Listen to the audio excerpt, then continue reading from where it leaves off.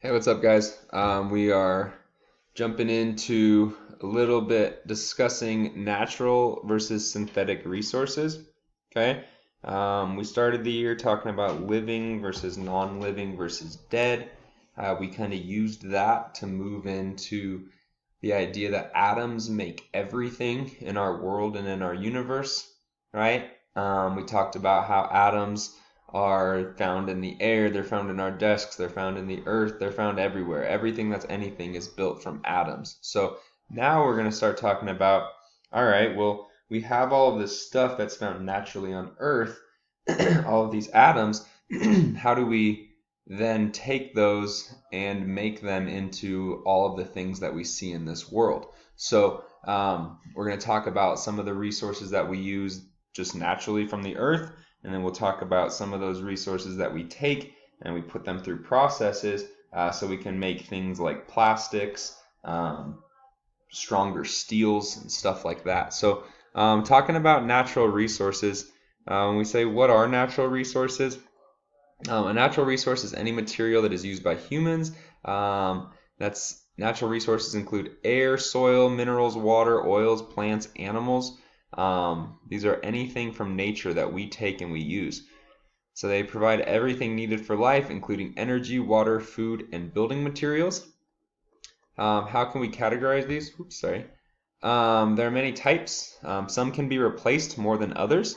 So we have renewable and non-renewable, right? We've heard those words before. So like renewable energy is something like solar energy, right? Whereas a non-renewable energy would be something like oil, um, because although oil does get renewed in the earth, it takes millions and millions of years, right? So um, something like, you know, using water to produce energy in the ocean, right? We're always going to have the ocean water that's going to be moving through those turbines.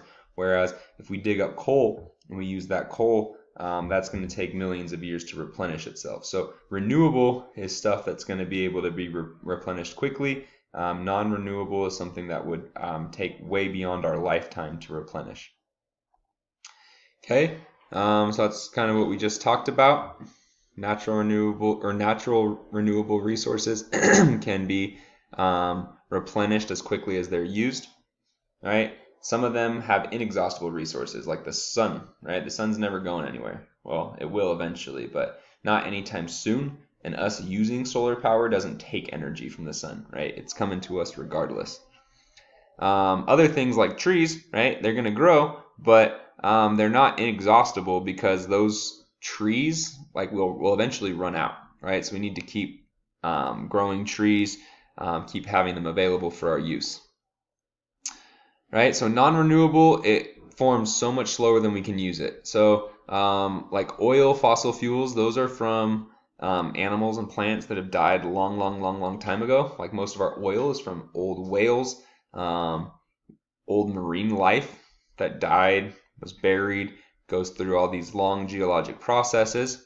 Um, once a non-renewable resource is used up, we have to find something else to use. Okay, so let's think: how do we use all these resources? Well, material things are stuff that we use, like objects, like um, we use to make objects, um, food or drink right? So like say you chop down a tree to build a house, that's a that's a material resource. Um, they can be either renewable or non-renewable. Um, they come from the atmosphere, the crust, the waters, living organisms, right? So let's say you go, you hunt a deer to eat, right? That would be a food source. That would be a material resource. um, anything, other things like the iron that we take from the earth, right? Um, we use iron for lots of things, but iron is something that will eventually um, be exhausted from the earth. Um, that's something that's formed through rock processes that take millions and millions of years. All right, so thinking about a house, thinking about all the stuff that goes into a house. Um, you know, the wood, right? All the amount of energy that goes into it. This, the metal, the steel, um, the pipes, the the, the circuits, everything that we need to use that comes from the earth. All right, so now thinking about energy as well, right? So we can use wood to build a house, right? Or we could also use wood to burn and create energy, right? so natural resources, that are used to generate energy are called energy resources, right? So we have things like um, oil, we have wood we could burn, uh, we have coal power plants, we have nuclear power plants. Energy that's stored in something is called potential energy, right? So like if wood is burned, it produces energy, right? So when the wood's just sitting there, it has potential energy. Um, for this energy to be useful, we need to actually do something with it, right? Kinetic energy is the energy of movement. So when we use energy to power machines, we'll have an energy source, right? And that will cause a turbine to spin. So say we're boiling water and there's like a fan over that water. That steam will make that fan spin. And as that fan spins, um, that will turn, um, that's the turbine that will be turning, and that will produce electricity, right? We have a little picture a little bit later.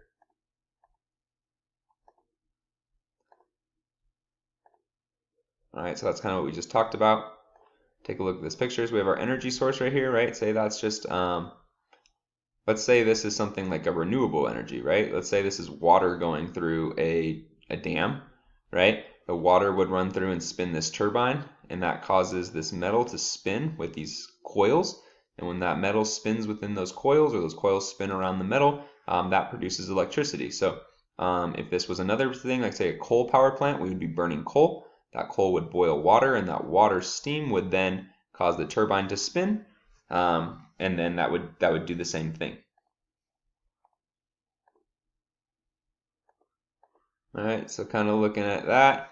All right, now let's take a look. So well, we have natural resources, right? These are the things that come from the earth.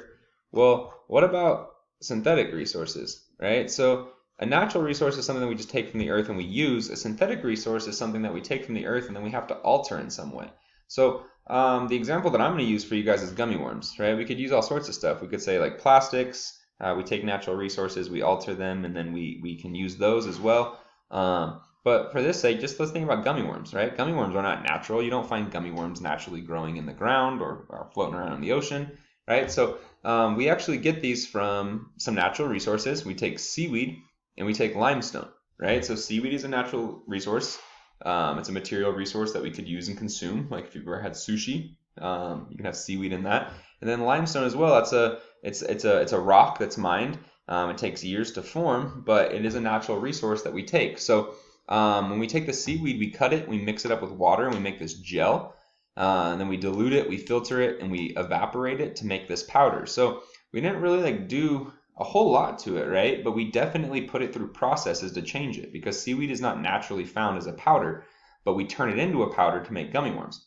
All right? And then the limestone, they take the limestone and then they react it with hydrochloric acid or sodium chloride, and that makes calcium chloride. So just like we were talking about taking um, sodium and chlorine and mixing them together and making something totally new, the same thing happens with limestone, right? You're not eating hydrochloric acid when you eat gummy worms. But the calcium chloride that is made from that reaction is totally a brand new product, and that is in the gummy worms. Right? So um, there were molecules that were natural resources that went into that, right? So we had um, the seaweed, and then we also, like from the last slide, used um, the limestone to make calcium chloride. So that's a molecule that was being used. Um, did we have a chemical reaction? Yeah, we reacted that limestone with chemi- with uh, hydrochloric acid to make calcium chloride, that is a chemical reaction. Um, were substances heated? Let's see. Um, well, if it had to be evaporated, yeah, we definitely heated that. Um, substance is put under pressure? Well, we had to turn the seaweed into a powder. So I think to grind something up, you would be doing that. Um, special machinery, probably to powderize that material or to create those chemical reactions. We probably have some materials. Um, and does it change over the years? Yeah as we get better at making things, we change those processes, right? Especially nowadays when we try to be energy efficient. Any chance we have where we could do something that requires less energy or less waste products, we're always trying to do that. Okay, so if we're looking at these, um, this is kind of just like the technical side of making the gummy worms, right? It's another long chemical reaction, but you have by the end these two separate things that we can compare, right? A gummy worm we could kind of compare to like, um, you know, just eating fruit, really, because they all have fruit flavors. Um, if you wanted that flavor in a natural fruit, you could just eat a strawberry instead of eating a strawberry gummy worm. So let's look at them, right? A fresh fruit slice is a natural uh, material resource. We would eat it, right? We would just cut that tree or the fruit, we'd eat it, the trees will grow back, everything's great. Whereas with the gummy worms, we have two main ingredients. One comes from seaweed, one comes from limestone. The seaweed is renewable because seaweed grows back quickly, whereas the limestone is not renewable because limestone takes millions of years in the rock cycle to form. And that's something we'll talk a little bit later about the rock cycle, but um, although it will be renewed, it's not going to be renewed for millions and millions of years. So it's not like we can just wait a couple weeks and get some more, or wait a couple years and get some more like we can with seaweed. All right. Um, so some of the impacts, because when we do things and we do these chemical processes, there are always side side um, un, unintended consequences, you could say. So um, when we have to get the seaweed, we we harvest this from the ocean, and that's home and food to ocean creatures, right? Um, that can displace those animals in the ecosystem. Um, processing the seaweed takes energy and produces waste right? The calcium chloride, we have to mine it, right? So you've all seen mines. We live in Nevada where you have those big mountains that are cut up. Um, that definitely disrupts some ecosystems. Um, the process produces waste, which requires control, right? So we don't want to just have these waste products running into our rivers and our water sources. Um, mass production takes a lot of equipment, uses a lot of energy, right? But they are good to eat. Okay, so when we think about synthetic materials, like most of the world that we use is synthetic materials, right? Um, it's just a matter of, as humans and as consumers, making sure that uh, the synthetic materials that we are creating and that we're using don't have such negative impacts on the world that um, we're then a few years later trying to fix the problem that we just created, right? So main ideas from this PowerPoint, we're just kind of trying to take a little intro into this idea of natural versus synthetic resources. Uh, we said natural resources are things that just come straight from the earth. Synthetic resources are things that come from the earth that we then put through different processes to change in some way. Um, as far as natural resources go, we said we have renewable and non-renewable, right? Renewable is something that um, new stuff grows or is produced about as quickly as we can use it. Okay, so like with the seaweed example, we chop up seaweed, seaweed grows back really quick, so that's renewable.